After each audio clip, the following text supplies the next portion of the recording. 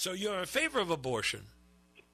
In a case where a 15 year old girl gets So you are in yes. favor of killing the baby. Yes. So you want to kill an innocent child. I want to be clear on this. You want to kill an innocent child because of what happened to uh, that girl. y'all I want to be clear on this. Thinks that after two months the baby in that girl's stomach, then you know you just got to go to science class. Well, no, you have to go to science class, sir. Actually, you have to go. You have to go. And the other place you need to go is to a therapist, sir. Because if oh, you believe for one second that that baby should be terminated because of what happened to the mother, there's something seriously wrong with your thought process. Oh my goodness! So you're Seriously you're wrong. A 15 year old girl who gets raped by her uncle should keep the, should be forced to keep the baby.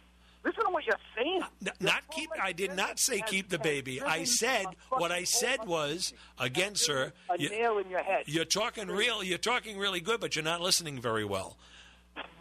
Uh, what I said was that it should not be aborted. I didn't say anything about her keeping the baby.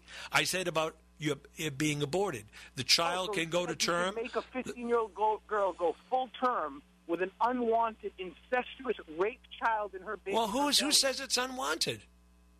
Because she was raped by her uncle. Well, that yeah, but you say it's unwanted. We have no idea if she would like to keep that baby. You have no idea if a Listen to what couple. You, You have I'm- no I'm giving you a idea. situation with a You have girl and her uncle having. You have no idea if a couple someplace, a childless couple, would like to have that child. I'm talking about the girl who has to go. And I'm talking about the girl that has to go through the realization that she has taken the life of an innocent child. At two, three, five, four, five months. It's not an innocent child. It, it's a it's a a speck in this poor girl's belly that shouldn't be there. In the first trimester, sir, it is a speck. Is that what you're telling me?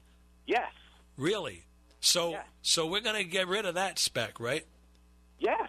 Yeah, yeah. What you're saying makes perfect But sense. we- to but we saved I'm the speck you I'm- came I'm from, right? That I'm even having this conversation with you. You're you're not having it. You're having it with yourself because you haven't made any sense at all. Man, you just said that maybe a 15 year old girl and her uncle's incestuous relationship. Well, that that's a f- wonderful fantasy. I don't know which of your uncles did that to one of your family members because that's obviously something None, you made up. goodness. You made up. You made it up. Her, no. You know, here's an interesting case, sir. You don't know who your father is. I, I don't. What? You don't know who your father is. What in the world makes you say that? You have never had a DNA test to prove he's your dad, have you? How in the world would you know that? Well, you haven't, have you?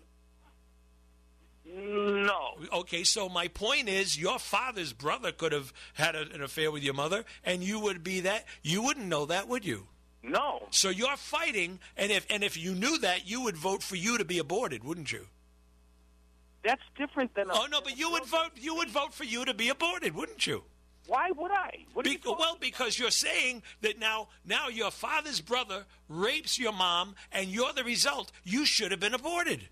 Oh, first of all, that's the first time you use the word rape, and in this. this I'm using your I'm using your scenario. Yes, then yes, if I had been raped by and my mother wanted to abort me, yes, I, I should have been aborted. Oh, My and I could had and, raped and, my and, mother. and I could have saved all this time on the phone. Thank you.